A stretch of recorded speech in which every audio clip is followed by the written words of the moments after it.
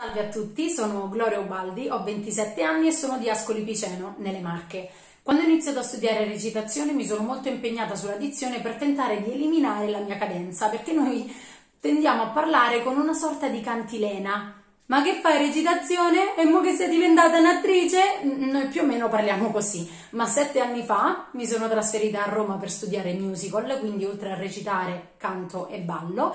E partendo dal presupposto che il dialetto romano io l'ho sempre amato alla follia, mi ci sono volute tipo due settimane per cominciare a parlare sta maniera. Io non ci posso fare niente, mi è proprio naturale. Infatti a casa mi si mangiano questa cosa. che altro dire? Questa sono io. Grazie mille.